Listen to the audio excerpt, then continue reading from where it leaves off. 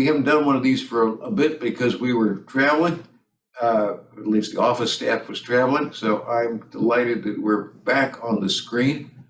And uh, we obviously couldn't get Larry in for an in-person because he happens to be in Texas.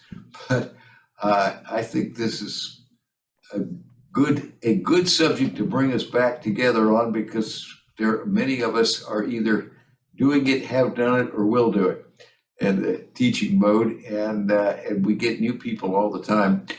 While we've got everybody on the screen, I just want to note, uh, most of you are probably aware, but on the Academy website, there are some teaching resources.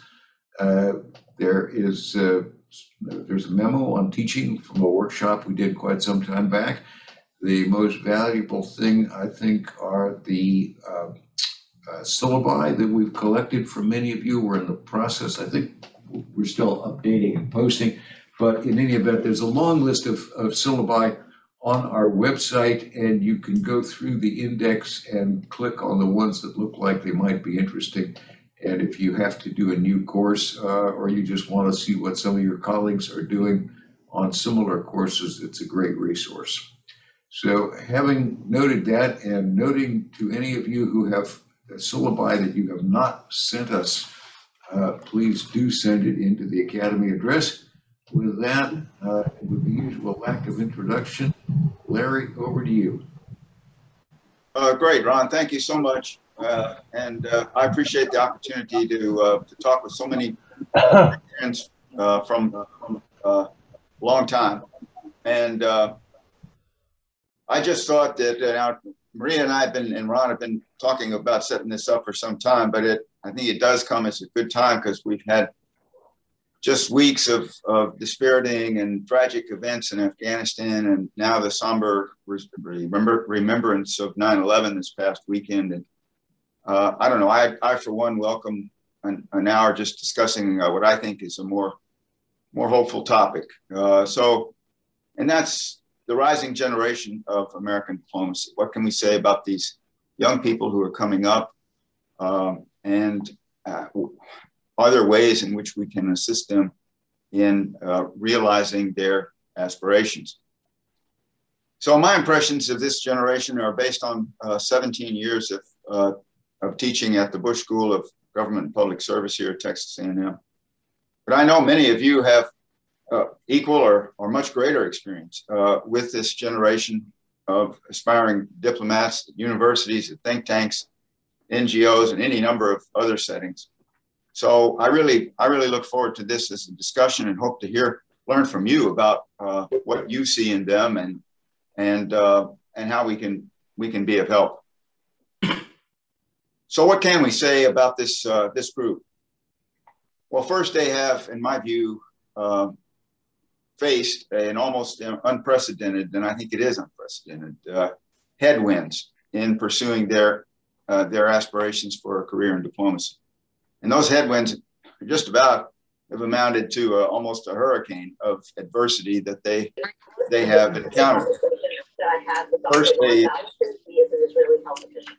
first they had the we had the hiring freeze and the general uh, slowdown of hiring for diplomacy uh, during the previous administration, and then before, uh, and then then of course the COVID nineteen uh, hit us, uh, causing a, a, virtual shutdown of foreign service recruiting for extended stretches. Uh, the collapse of the department's signature uh, internship program in 2020 and the limitations of internships to virtual only in 2021 and now po possibly in 2022 as well. Um, the real slowdown, almost a glacial pace of onboarding of applicants who do make it through, uh, and the uh, near what I consider a near breakdown of the security clearance uh, process and the uh, and just generally the, the very difficult and daunting uh, Foreign Service exam uh, process made even more so when, for instance, uh, you when you get, we had to suspend, uh, the department had to suspend the, uh, the oral assessment, which is the third and final um, phase of the Foreign Service exam un, uh, until vaccination became available. So from where I sit, I think it's remarkable how many of these, of our best students remain resilient and determined to fight it out uh, for a career in American diplomacy against really some of the longest odds we've seen in a long time and across what's likely to be years of hard slogging and persistent effort. And uh, I think whatever we can do in terms of mentoring them, in terms of encouraging, in terms of helping them navigate through the through these headwinds that they're facing, uh, is something that each of us can do in whatever situation we find ourselves, whether it's in in uh, teaching or whether it's in an NGO or a think tank or wherever we encounter these remarkable uh, young people. Uh, second, I think it's I think it's really striking how much of this uh, generation remain uh, committed to doing hard things in hard places. They do have myriad of myriad options out there. They can go to law school. They can go to a PhD program. They can certainly go into the private sector. But I find many of them are are are still mo are motivated by a powerful ethic of public service.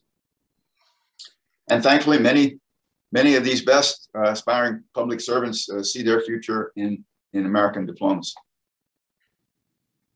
So just to take our, our example at the Bush School, and you have many, many, many more uh, where you are, our, we have Bush School graduates uh, that uh, either have served or are serving in American embassies in Russia, China, Pakistan, Israel, Saudi Arabia, Mexico City, and many more, as well as in the Department in Washington.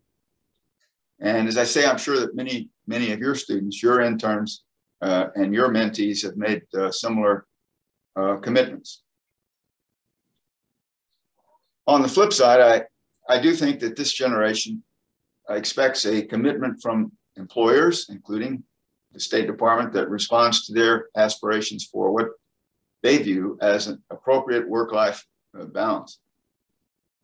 Uh, many in this generation have relationships in which the other partner uh, has significant professional career ambitions that are that are just tough to realize and to square with the commitments of a worldwide availability in in in the uh, in the State Department and American diplomacy.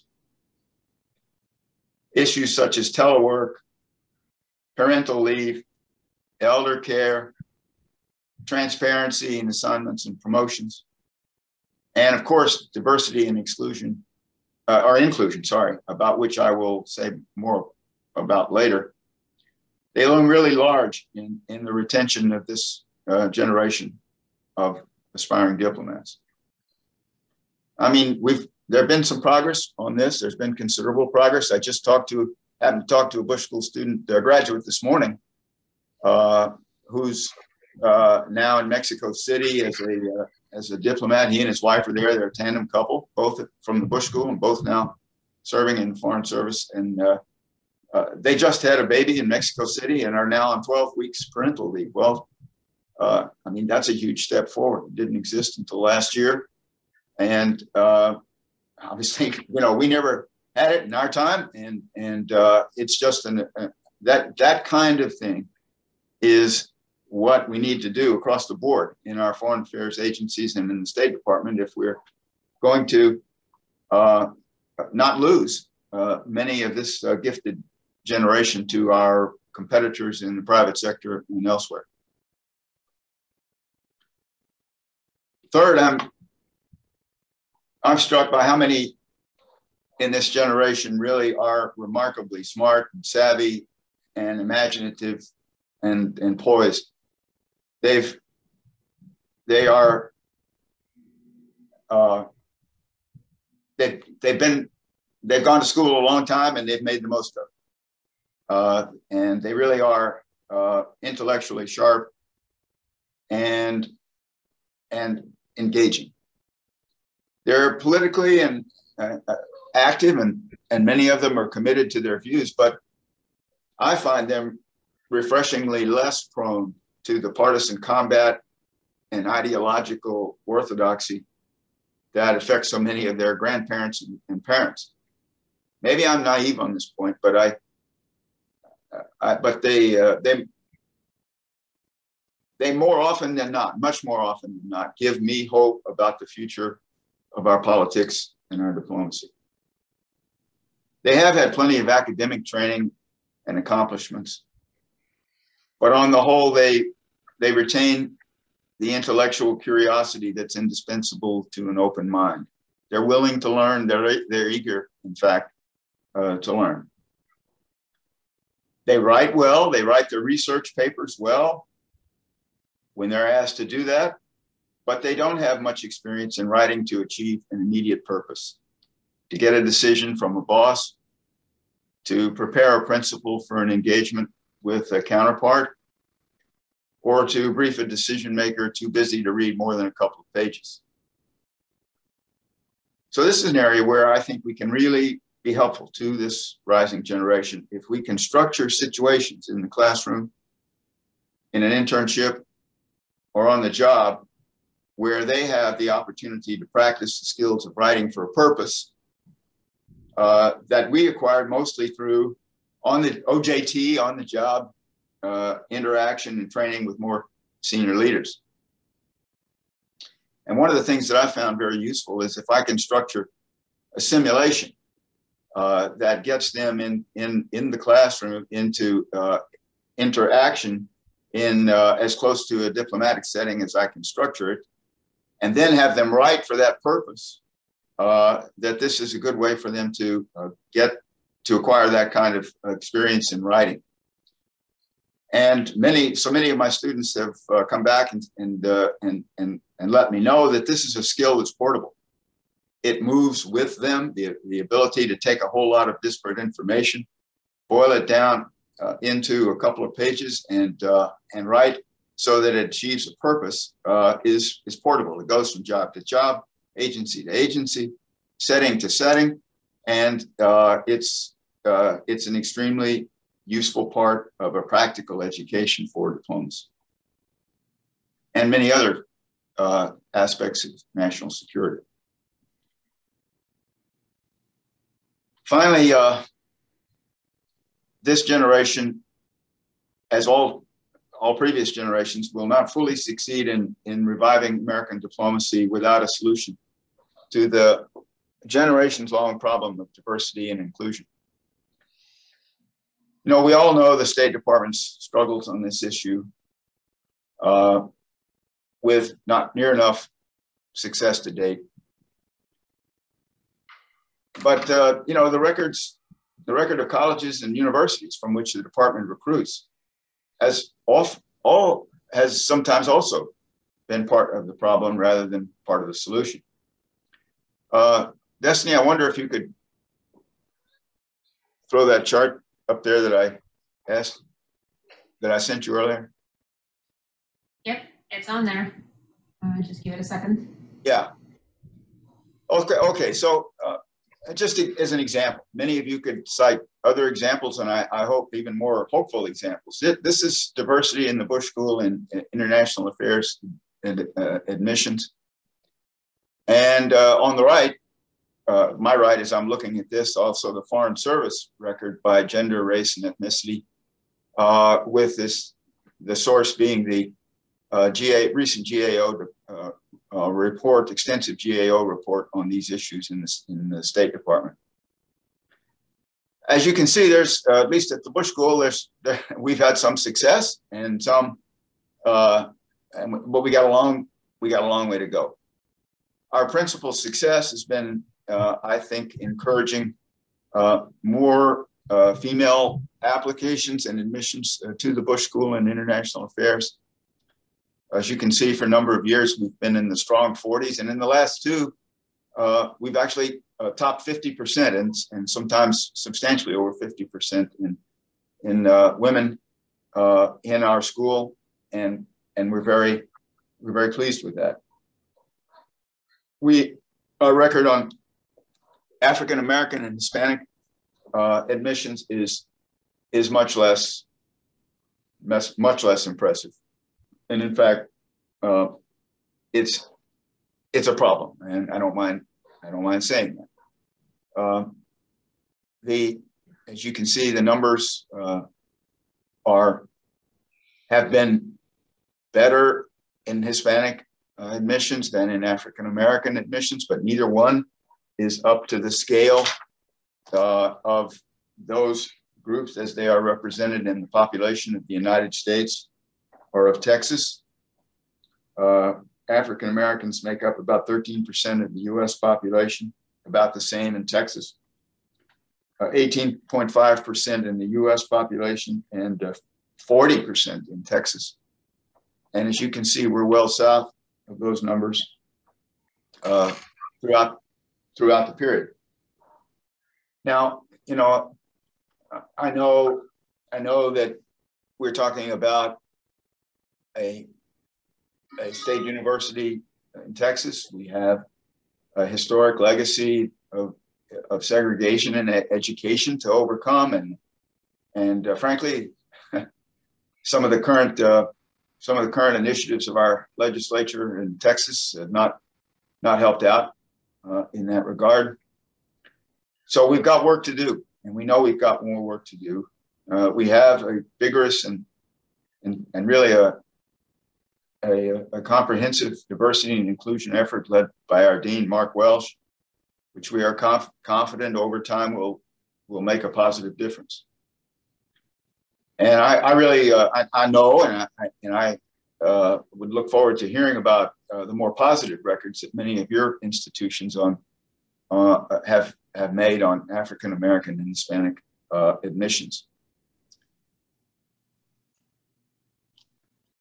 The I will note that for most years of the, that you can, if you go across from the chart uh, to uh, the State Departments, that uh, the Bush School admissions on uh, African American and Hispanic uh, students, uh, you know, try, unfortunately track pretty well, or or at least track on on the same low side with uh, with the State Department's uh, African American and Hispanic numbers. So it's clear that there's plenty plenty of more work to be done here. Uh, one thing that I would like to point out is that the, the uh, we, if we talk about what the Biden administration is uh, doing on this. Uh, we there there is a new uh, national security memorandum number three, which dates from February 4th of 2021, which does I don't know Destiny did you did you get that yes there it is. So you can certainly uh, you can certainly get this. It's a it's several pages of text, and so I'm certainly not going to go through it in detail or or read it. But it does set up uh, an interagency working group under the the uh, principal deputy national security advisor John Finer uh, to look at a number of these issues and to report back uh, to the administration uh, and the president on those issues. So among the things that uh, that the NSM asked the group to take a look at are addressing critical staffing needs, uh, especially in, uh, in science and technology, strengthening diversity and inclusion by sex, ethnicity, sexual orientation, gender, and, uh, and the like, to develop some uh, lessons learned from the COVID-19 uh, experience on things like remote work options, adoption of secure remote technology, uh, and flexible work arrangements. To, uh, to work on efforts to uh, retain, develop, and promote and support national security employees. So some work on assignments, provision of affordable family, uh, child and family care, support for those serving overseas and their families, including with LGBTQ members and with those with special needs, and uh, to what assess what can be done about really the the broken uh, security clearance uh, process that we've all uh, all experienced in our careers, and and uh, it's it hasn't gotten any better. So we've all had plenty of experiences with national security memoranda. Uh, sometimes they they go on the shelf and they don't achieve very much. They, they gather dust and, and are become relics along the way of the of the, uh, the national security record of an administration. But at least they do show something of, of the priorities going in. And I find uh, that the fact that this uh, national security memorandum was uh, was was authorized on February 4th, early in in the process, uh, at least uh, shows some attention to some realization of the fact that these some of these issues need urgent attention and and maybe maybe it'll it'll pan out to something that we that we can look forward to. So I want to sum up and I, I want to finish on a thank you, Maria. Appreciate it. On a uh, on a real positive note, I think uh, of optimism about this rising generation of American diplomats. And in that in that spirit, I would like to close with a very brief quote from what I think were the best remarks that were delivered on the occasion of the 20th uh, anniversary commemoration of 9 11. The remarks given by uh, uh, President Bush, George W. Bush at Shanksville, Pennsylvania. And in that, in those remarks, he said of this rising generation, at a time when some viewed the rising generation as individualistic and decadent, I saw young people embrace an ethic of service and rise to selfless action. That is the America I know. And it's the America I know as well as regards this, this uh, rising generation. So, Ron, over to you. well, I'll be happy to pick pick speakers. Uh, we got enough people on the screen that it would be helpful. Other view uh, be helpful to uh, have hands raised in the chat if you can. Uh, but otherwise, well, ra- waving them at the screen may may miss. I may miss you. Um, so let me see. I gotta get our overview. Yeah, here we go. I got I got Ken Yalowitz who's still trying to figure out how to do an electronic hand raise, but I saw him. okay. Uh, thanks, Larry. Thank. Can you hear me? Yes, Ken. Gotcha. Great. Uh, that was terrific, Larry. And I, I, my experience, you know, has been very, very, very similar. Uh, but I just wanted to uh, point out a couple of things. One, um, I have found in the classroom, you know, the last couple of years, um, a great deal of consternation and puzzlement you know, when we teach diplomacy and the formulation of national security policy as we know it, uh, talking to people who are, you know, totally confused by what the Trump administration did uh, and sort of the lack of planning, the lack of procedures, the disdain for the Foreign Service. And I think that's one thing that I think we're going to need to, um, you know, to think about for the future uh, is dealing, you know, with that legacy. Uh, uh, as I said, I, I, find that the young people are still very enthusiastic, very gung ho as you are. But I think also uh, a number of them are just dispirited, you know, in the sense that, uh, uh you know, perhaps this profession, uh, you know, is is not quite, you know, what what we had hoped it would be.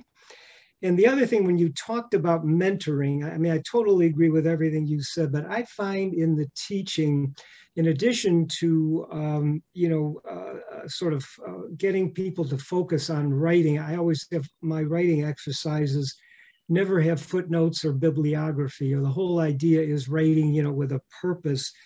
Um, but what i find is they don't like to listen to all your war stories but your war stories that help teach a lesson uh, is invaluable. And I think the lesson that I've learned is not to overdo it, uh, but to use your valuable experiences and what they really seem to enjoy is when you've talked to a president, the head of a government, when you are talking about you know, being the United States, you know, representative, you know, with a head of state across the table, what is that like? You know, what what goes through your mind? How do you prepare for it, uh, and how do you deal with it? Uh, but I totally agree. My experience now at uh, Georgetown and also Dartmouth, with many going into the Foreign Service, is that they are still the best and the brightest. They are still committed, but I think they've been singed a bit, you know, by what what has happened. And now, of course, as a result of Afghanistan, you know, we have more questions. But terrific uh, presentation, Larry, and thank you. Yeah, Ken, I, I agree with you uh, totally. It's really hard to uh, to teach the national security uh, decision making apparatus because it's so archaic in many ways. I mean, we're we're, we're still operating basically off uh, well, you know, the constitutional basis, which is very thin, and then the National Security Act of 1947. And as I tell my students, that that's nearly as I mean, that's older than I, just a little bit older than I am, and I'm not working very well anymore. And and the thing just, uh, in, in matter of fact, what I say to my students is, the miracle is not that it works poorly. The miracle is that it works at all. And uh, you know, but it's nonetheless what we have. And uh, notwithstanding the great work by Marcy and others who've made uh, many uh, suggestions for fixing it, uh, those never seem to to get very much traction in in trying to bring a, a, a so 20th century uh, decision making process into something approximating a 21st century one. And I think it does frustrate the this generation of students who can just see a better way to do it and and wonder why it's the way it is. I wonder whether the best way to do it would turn out to be the same better way to do it if they had their chance. But Pete Romero. Oh, you're muted. Sorry about that. Um, I agree, Larry. Uh, I, I, think this younger generation uh, has got a lot going for it. Um, it's very enthusiastic. Uh, it is a much more equitable generation in terms of fairness, uh, in terms of giving back. You see all over advertising on a daily basis, whether it's Cheerios or whether it's uh, detergent uh, people trying to explain how they give back beyond just the business part of all of this. That's the younger generation. They really care about that, and, and I and I have to admire them for it. Um, I think their skills are just as good as everybody else uh, that has come through that I've ever ever had a chance to uh, to be in the classroom with. Um, but I think that there's some things that that you didn't mention and, and that concern me at least, and and that is with respect to diversity and inclusion, I get a lot of um, the State Department is not is not diverse and it's not inclusive, so I'll go elsewhere when it comes to uh, gender and minority candidates. Uh, and uh, I obviously in this current state of um, very very low unemployment, they have that ability to to pick and choose, and you know I, I, I laud them for it but there's there's not the same kind that I can see dedication to changing something like the foreign service, like our diplomacy, like getting diversity and inclusion in uh, at all costs. I don't I don't really see that kind of dedication. And the other thing is, I was thinking the other day when I was uh, a very very young teenager, and I you know I want to say like 13 years old, the leaders in our country were in their 40s where are those people now? And I just don't understand why there haven't been clearly more younger leaders emerging from political parties from all over the country, including in the foreign service. And I'm I'm I'm afraid that that the generation is really risk averse. Those are those are great comments, Pete, and I really appreciate it. And I, I you know, I think you're right. We're we have to realize that we are in a, something of a marketplace here uh, for the talents of this generation, and uh, there will some, you know, they will be prone uh, to go somewhere else if they feel like that they're, uh, especially if they're uh, young people of color or who are not uh, represented in in in anywhere near the right numbers in our uh, in the State Department and in the national security agencies. They may well they may well say that uh, that uh, look I'm I'm gonna I'm gonna take my skills uh, elsewhere. I find that we have a hardcore of of people who do want to change the system, who want to come in there, who want to be a part of American diplomacy, and it'll be hard to turn them off enough to make them go away. But I, it's not a fully elastic. We're not we're not dealing in the situation of full elasticity here. There will come a, a breaking point where we're going to, you know, to lose uh, to lose some of these uh, these gifted young people. So I agree with you uh, on uh, almost everything you said there. Yes. John, Tefft, please go ahead, unmute. Thanks very much, Larry. Excellent presentation. I, I my question is basically a, a spinoff of what Peter said.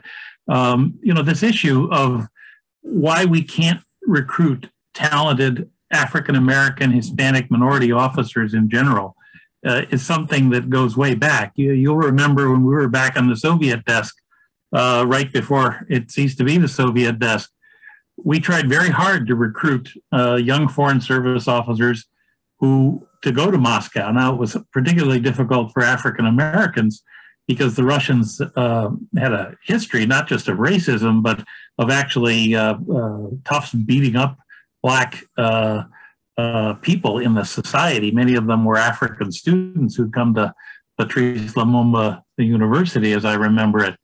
But even back then, uh, and this is now 20 odd years ago, we had a difficult time. Now, I know there's people on this uh, video, Marcy and others who've worked really hard to try to figure this out, but it's not just a question of job availability. There's something much deeper here. And I'm just curious if you could comment on this um, as you see it from your uh, perspective down in uh, Texas these days. Thanks. Uh, John, it's great to see you. And uh, I do remember those times and, and, and exactly the efforts we made to try to recruit young people to go to Moscow. It's, it, you know, it's, it's a question that has certainly bedeviled me a lot. Uh, why is it that it is so hard? Uh, and I, I don't have a fully satisfactory answer, but I think one of the things is uh, it's just been very difficult for us to get to uh, to younger uh, for the State Department to get to younger African American youth as they are coming up. That's why one of the uh, good proposals that I think Marcy and her team came up with, and others have made it as well, to do something like an ROTC, a state, or I mean, a uh, yeah, State Department ROTC program, where maybe we could uh, attract some of these younger people, especially in, in inner cities and places where the uh, Black and Hispanic communities are, are, are very prominent, uh, into something that would be fun for them to do, something that might appeal to them more than than than the military uniform or the or the ROTC uh, uh, framework that would get them interested in global affairs, but that would uh, help them see a future for themselves in our profession. So I, I don't have a great answer. I hope that others would uh, would contribute to this as well. But it, I mean, it's a tough nut to crack. We've done better with Hispanic uh, applicants, at least at the Bush School. Now, maybe that's because we have so many, uh, we have such a, high, a, a high level, our percent of, of Hispanics in the population in Texas. But uh, our our record of attracting African Americans to the Bush School has just not been good. I was hoping that others would say, oh, ours has been much better. Uh, and many of them have been uh, uh, our Pickering and, and uh, which we've been able to uh, convince some Pickering and, and Rangels to come down and join us here, and, and they've done exceptionally well. But as far as really cracking this nut in our admissions, uh, we we have not, as, as the chart I showed, we we've not been able to do it. Uh, Sylvia, and then I've got a question uh, that I'll read from Hank, but Sylvia, go ahead. Okay. Um, thank you very much, Larry, for your presentation. Thank Um, you, Sylvia. But one of the Thank things you. I noted is that the State Department's ranking in the uh, Partnership for Public Service ratings has been lower in recent years. We used to be at the top of the good places to work and popular places to work. So I think overall there is still what we must admit is a issue with the State Department culture and how welcoming our culture is and open to change. Um, the expectations of people coming in are such as many young people, minorities or whatever, uh, expect to progress faster than it's going to be possible. So in that, I think that it is essential that we do more mentoring, that the mentoring is a crucial part. I also think that uh, we might want to take another look at our internship program since it's a good way to see what it's like before you enter, working alongside foreign and civil service personnel in the department. But African Americans and students usually have to work. They cannot afford to take that summer off unless we make it uh, possible for them to intern and do so. Remote internships are fine, but there's nothing like being in the department. Uh, so therefore, I would also like to suggest that we need to really, the people who are recruiting, the diplomats in residence, uh, many people don't see that as a career enhancing assignment. So we need to really give greater weight to finding ways to get those recruiters out or get people from the desk to take a, a, a, week out to go to their schools and more funds that are for that. But the culture, mentoring, and our own uh, practices. Thank you very much. Thank you again for the presentation and your work in my home state. well, thank you, Sylvia. That's re that's really wonderful. And I, and I couldn't agree with you more. We have got to do something about our we've gone backwards on our uh, State Department uh, internship programs. When I was a DIR, uh, the year, uh, uh, my last year in the Foreign Service, uh, 2004 5, and then in the early years when I was here at the Bush School, we actually had paid internships. not all of them were paid, but some of the State Department internships were paid, and then that that went away. I can't remember in which, but which of the budget crunch years, which of the, you know, when we went down to the final days and government shutdowns, and they, it got it, it went by the by the by the boards.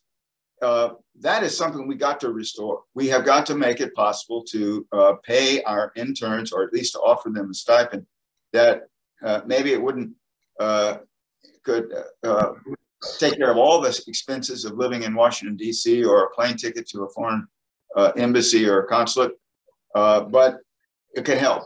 And uh, it's certainly something we, we uh, could do and should and must do because many agencies within the US government do offer paid internships and almost any uh, self-respecting private private uh, firm will do so. So, um, you know, we, we got to fix that. There is a bill, uh, I think it was Castro's in the House. So when Yeah, I but left the we- message for them, but now, go ahead. I'm going. She's still working. uh, has gotten out of the, out of the, uh, I'm not even sure if it's got out of the full house yet, but there is a, there is a bill pending which would do that. Uh, Hank Cohen had a question about whether your students demonstrate curiosity. Well, uh, as I alluded to in my remarks, uh, yes, I think they do. Uh, they're open to differing views. They are intellectually curious. They don't, they don't uh, tend to come in with uh, all the answers uh, to life's puzzles or to the uh, puzzle of diplomacy. And I think they are, they are, they are in the main open-minded. And as I said, I, I am refreshingly, they are refreshingly less dogmatic politically and, and, and less prone to, you know, hand-to-hand -hand partisan combat than their elders, I think maybe they'll get that way with age. Uh, yeah, if we if we're if they're around us long enough, or you know, people of our age and, and in the intervening generations will fix them. Yeah. Deborah.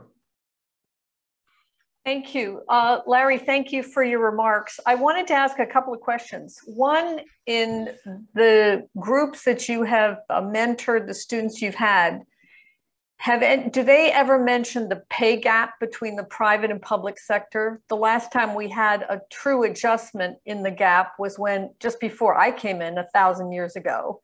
So pay is something that we don't really talk about. We talk about service and so forth, but pay also plays a role. And the second question is, is today, I think it's very hard to expect that young people will serve a 20 or 30 year career. Their time horizons are shorter. And somehow we don't adjust to the fact that if someone comes in, if they do seven, 10 years and then go on and do something else, that's not necessarily bad. They're not all leaving, despite some reports, being dissatisfied. Often they leave, frankly, for better pay and not moving. So we too, I think, have to adjust a little bit. But I wanted to know amongst your students whether the issue of pay and the time frame from which they were willing to serve have, have come up. Uh, Deborah, the it's, good to see you. The the the issue of time, pay does seldom comes up, frankly. Um, they, they you know they they have some idea of what our uh, what the State Department's pay scale is, and uh, many of them know they could make a lot more in in the private sector, and many you know some will will uh, will do that. Uh, but I find, at least down here and at the Bush School, that uh, they're not so much looking for that as they are looking to somehow, some way, get find somebody who'll give them the first opportunity they have in public service uh, to get on the lower rung of the ladder and and try to navigate navigate forward. So uh, there's that. Now, I do think the second issue you raised is a tough one uh, for us because the foreign service career has always been well. You start out like in the military, you start out as a second lieutenant, and you you know you you pursue a 20 or 25 year career and you get where you can as in the senior foreign service and, and, and young people are much more mobile than that right now. They want to be able to move in and out if they if they want to uh, to take a, a, break of a year or two even uh, to take care of an elder elderly parent or to uh, raise a, a, a child or deal with some special needs or something. They want to be able to do that. And so if we're going to retain as many of people as we can, we got to have a lot more flexibility in the system than we had when we were navigating it. Uh, and we, we've got to have more, more capacity, more willingness, more uh, empathy for those kinds of, of issues and, and allow people to, you know, to, to take advantage of some of those opportunities. Now, in order to do that, you've got to have enough leeway in the force to, to allow it. And we just have never had that kind of top cover in the in the diplomatic uh, uh, force as we have in the military, where you can have a 10%, 10% of the officer corps out studying or out for one reason or another um, in a given year or in a given period of time. So unless, until we can get that kind of uh, top top cover, it's going to be tough for us to, you know, to to deal with that kind of issue. Let's see, I've got Dennis, and then I've got one in the chat from Marie, and then I've got Chet. Okay, Dennis, please go ahead. Thank you, Ron. And thank you, Larry. Interesting presentation. I had to shudder, though, when you mentioned ROTC. I think uh, that was the worst idea of many bad ideas in the Belfer report. Uh, you just can't identify somebody at 18 who's going to be a future successful foreign service officer. We have a hard enough time doing that with people who are an average of 30 years or so master's degree, six years of work experience. That's the profile of the average uh, junior officer coming in now. But two things that I think that could be done. One is uh, expand the Rangel program even more. I know it's going to grow, but it should grow a lot more. I think one of the things that we should recognize is that um, the minority recruitment is not just a State Department problem, it's a societal problem because people, uh, minorities, suffer from worse public education, worse economic conditions. Uh, your chances for going to college and success in college depend a lot on whether your parents went to college. And so that's a, a problem that the State Department can't really deal with. But I think being more generous with uh, uh, graduate um, uh, programs, programs to fellowships and scholarships or graduate programs would be a lot more effective than throwing money at an 18 year old with the hope that that person uh, four or five or six years later might actually figure out that they want to do uh, the State Department as a career. The other thing I would recommend as far as uh, recruitment, you know, the uh, military had a problem with getting people to serve in joint commands. Uh, and it wasn't looked at as career enhancing. And we had our little war in Grenada where none of the armed services could talk to each other. And that was part of the reason why it was such a debacle. And so Goldwater Nichols said, okay, if you want to become a general, you have to serve in joint command. I think what we ought to do in the State Department uh, is if you want to be in the senior foreign service, you have to do a Pearson program assignment. You have to go out into the hinterland and recruit uh, people for the Foreign Service and also connect with the average American and tell them why uh, the State Department matters. One of the things that we always bemoan is that people out there don't understand us, don't understand diplomacy, don't understand what we do and why it's important. And so we need a lot more people out there, but a Pearson program is not career enhancing. And the only way to make it career enhancing is to require it for your career to advance. Thanks. Great, Dennis. Great to hear uh, hear from you, and thank you for weighing in. Um, I certainly agree with you that we should expand uh, further the, the Pearson and Rangel uh, programs. There was an expansion a uh, year or so ago. Needs to we need to think about doing even more in that regard. And I do like the idea of getting more of our people out uh, to to uh, to speak and to interact with with our population. We're, we're going to have a number of questions. Uh, you know, there are some issues here that we're not going to do today, but that bear on these things.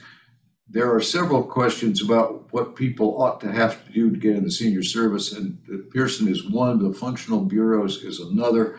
Um, remember, when you put those on the table, those are probably 10 year leads by the time you grandfather people who will no longer have the opportunity and look at the number of slots.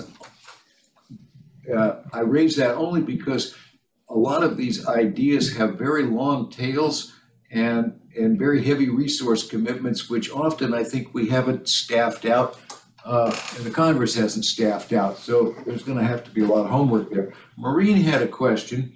She said she would be interested in suggestions on advice for students, the best entry points today, what's the best advice to prepare for the FSO exam. Uh, I know in my day that was uh, read The Economist, the New York Times for a year and get a good night's sleep. Uh, and uh, she said, Some of my students have done state in department internships, others have entered via Pickering uh, Fellows and the like. So, suggestions for students who want to enter the Foreign Service. And uh, let's just go around, Larry, and then if others want to get in on that, um, we'll, we'll do a quick sweep around. Well, on the uh, on the Foreign Service exam process, what I always tell my students is there's no way you can study for the standardized FSOT. You've been in school for a long time. You've you've uh, taught you've uh, taken a lot of standardized tests. You're a good test test taker. Just go and take it and and uh, you'll probably, and in fact, most of our students here and most of yours will pass can pass the standardized exam, which is the Gateway Foreign Service Officer Test.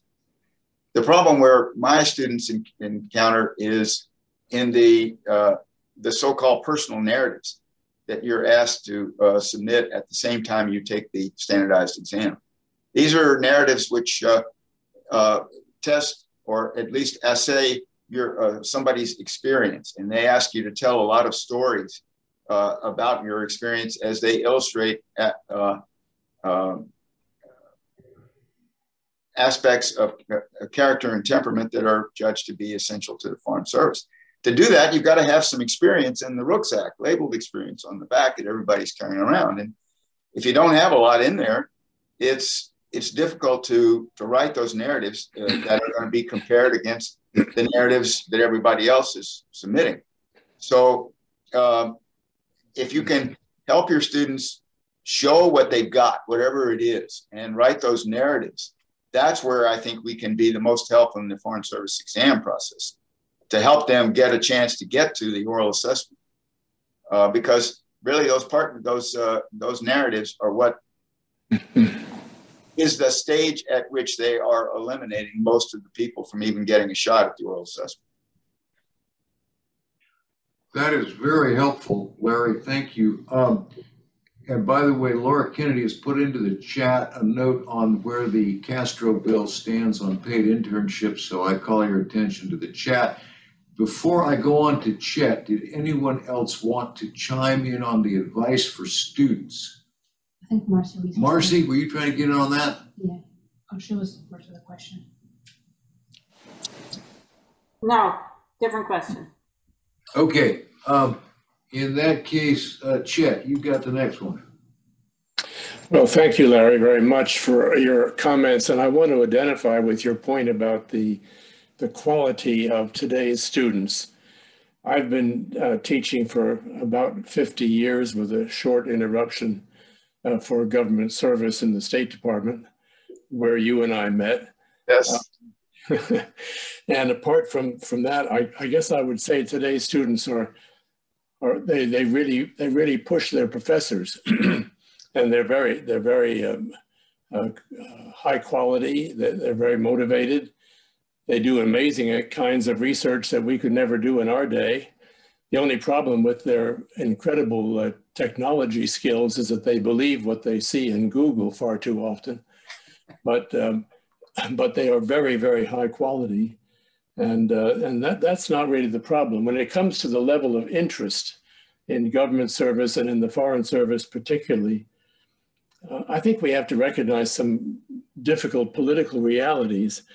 One of them is the over-militarization of our foreign policy, which many people uh, on this program will be familiar with and will probably have commented on at great length. But when you see the, the role models of, of what's going on in our foreign policy and the extent to which uh, we, we tend to resort to the military as the answer to problems that are not military problems at all, it's kind of discouraging. It doesn't create the right the right uh, role models. And then you look at what's going on in the Senate today, and there's 80 people held up in the Senate Foreign Relations Committee.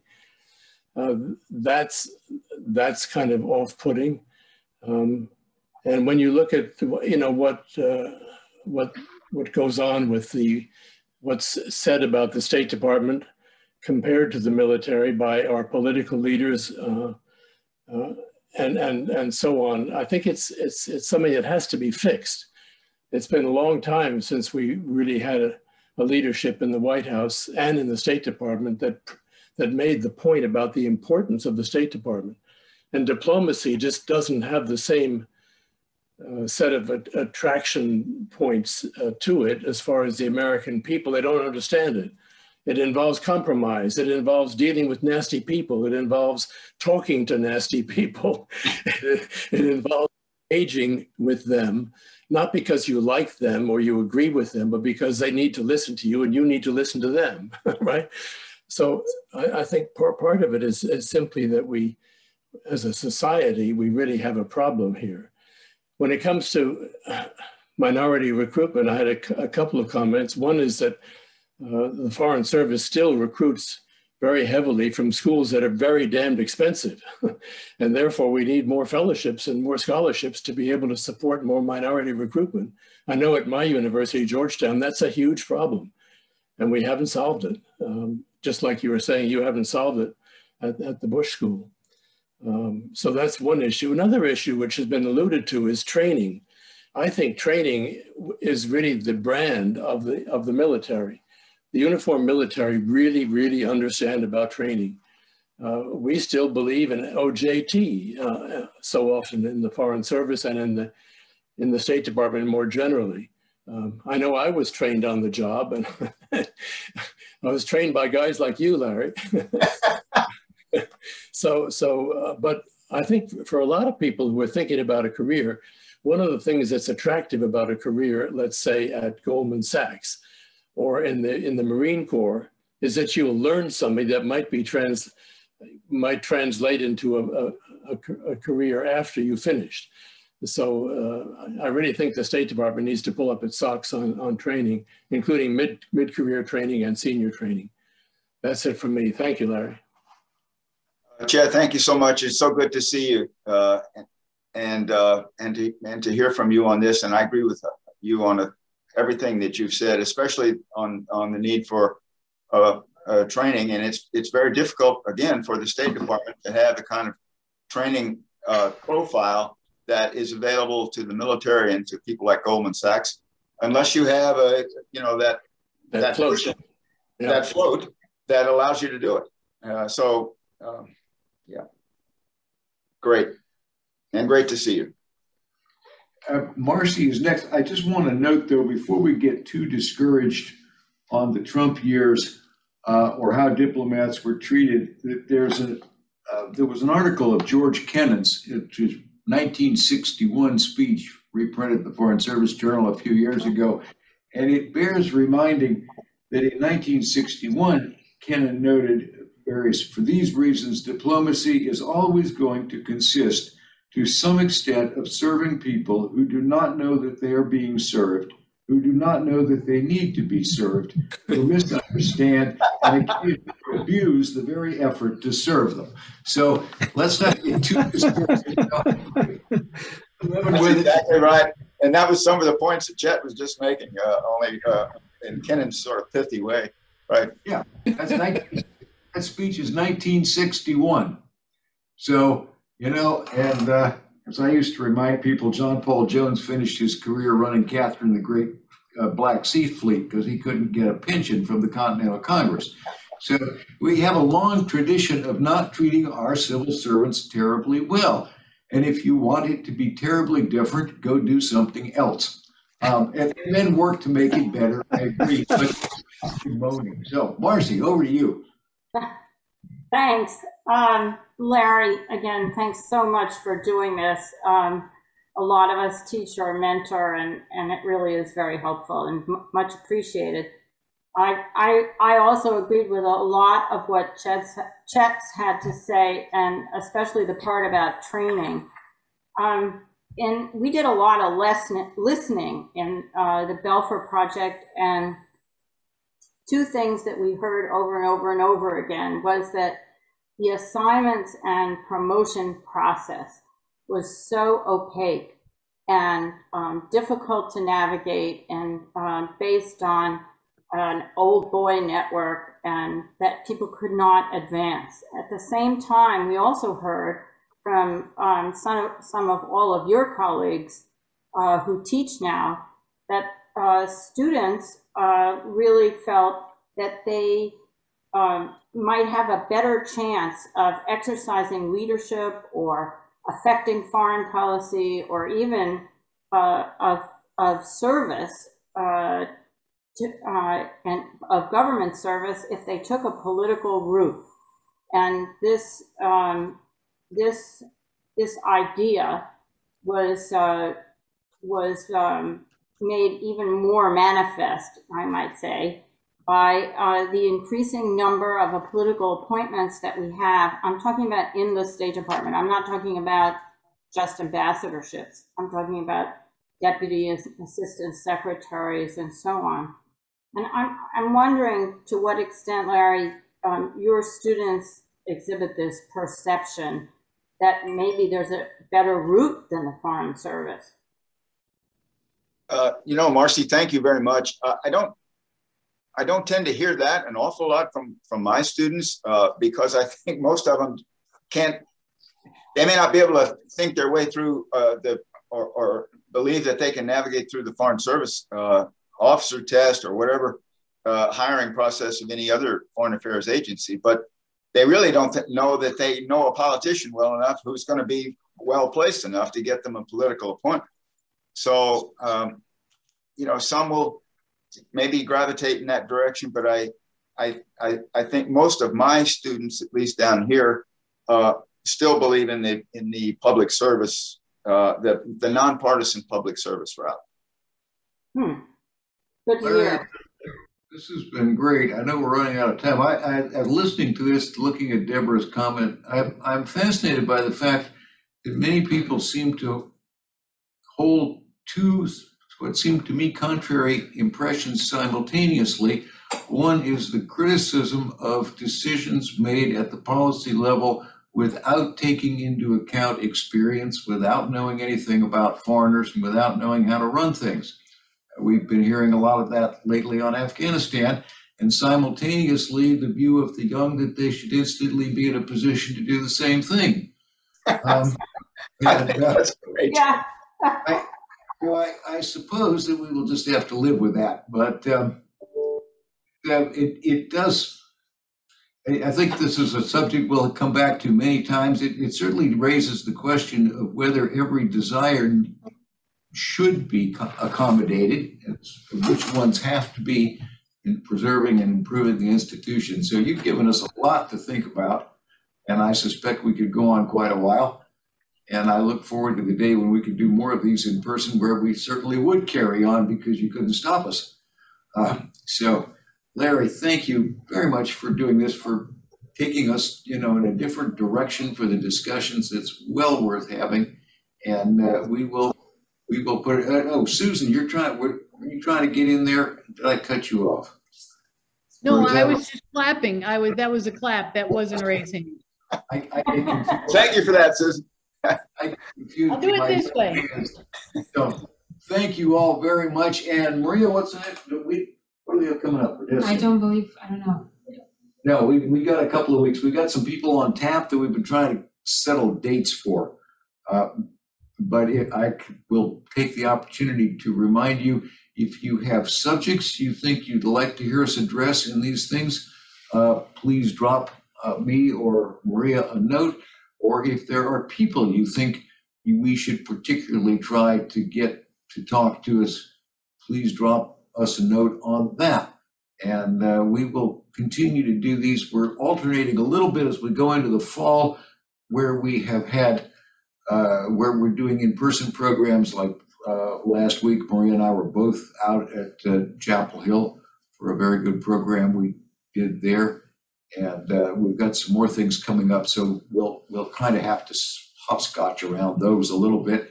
But we want to keep this going since people seem to enjoy it. So do give us your notions and we'll try to work them in.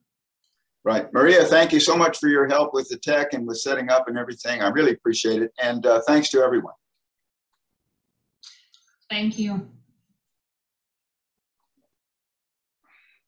Who is that chat from? Laura Kennedy. Laura Kennedy, one footnote, right? Regarding commitments and importance of training Guinea officers around the country. I just thought they'd enjoy that nineteen sixty-one kind of quote. Thank you, Ron. Thanks to everyone. Larry, it was great. Thank you. It was This a was lot of, it was a lot of fun. And uh, Right. Zoom does, g- Zoom does give us some uh, ability to move folks in from a little further away. So this is outstanding. And you, and you've been so consistent about tuning in from a long way away as well. So uh, this was a double pleasure. Appreciate it. Bye-bye.